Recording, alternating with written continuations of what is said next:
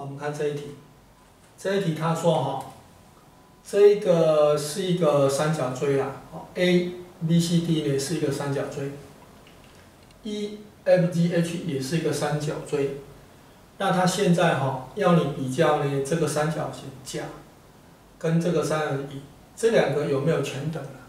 啊还有呢这个三角形 B，啊跟这个三角形 D 这两个有没有全等？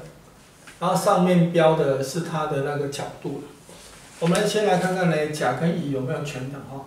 首先我们知道说，哎，一个三角形哈，三内角和一百八嘛，所以呢，这个加这个多少呢？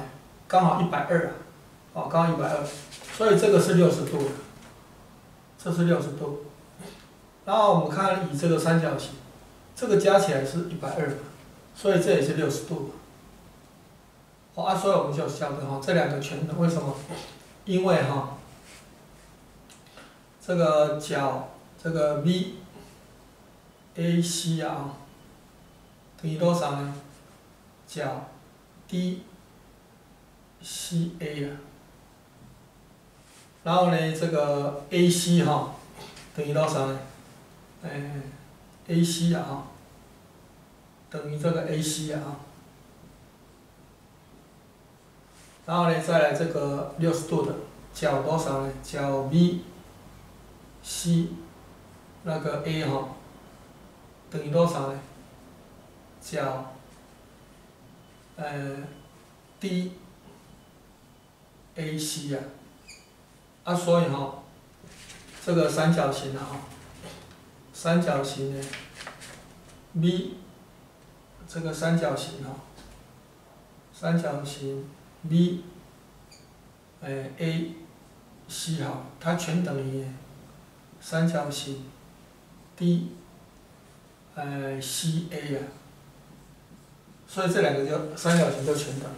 也就是说哈，这个甲跟呢乙它是全等。好，首先甲跟乙全等。再我们看这个，这个三角形的话哈，这个呢，呃。这个加这个的话是一百一十三，一百一十三啊，所以这是六十七。那这这两个加起来的话呢是一百二，一百二嘛，所以这是六十啊。那很显然这两个三角形呢是全等的，这六十跟就六十一样嘛，那这个一 g 跟一 g 一样嘛，啊五十三跟五十三一样嘛，所以呢三角形哈，这个。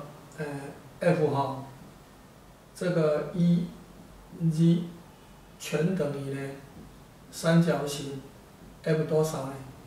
这个 E，哎 H 的 H 哈，然后这个 E、G 嘛，所以呢这两个三角形也是全等的，所以呢答案应该选多少呢？应该要选 A 的。